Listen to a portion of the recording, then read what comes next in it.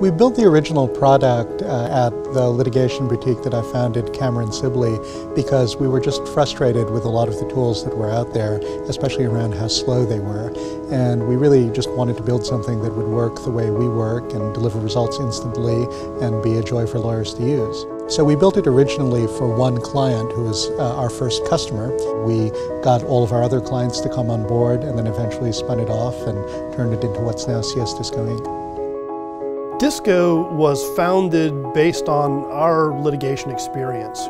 We had uh, a large commercial practice. We dealt with large data sets uh, for large corporations. We found that the software in the market didn't live up to what we were pitching as attorneys. Uh, they were either too slow or they didn't do what we as attorneys needed them to do. So along with my co-founders, we created Disco, and we created it to do the things that we needed the software to do. We needed it to be fast, we needed lawyers to be able to use it. Wanted to build something that would work the way we work and deliver results instantly and be a joy for lawyers to use. We were lawyers. We understand what it is to be responsible to clients for winning a case, and we will do whatever it takes to get it done.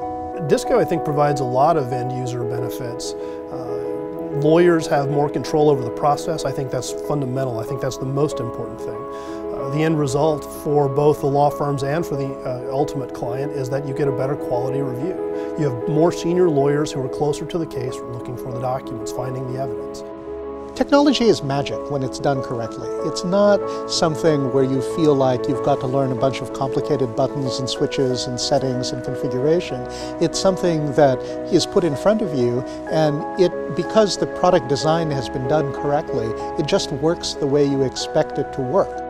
The reason I left the practice of law to do this is because I think there's a really big opportunity right now to begin developing legal technology that automates all the parts of the practice of law that don't actually require human legal judgment. And that's really the goal of the company, is to go systematically through the things that lawyers do every day and automate all the parts that are not the real practice of law so that great lawyers can focus on doing only the things that only they can do.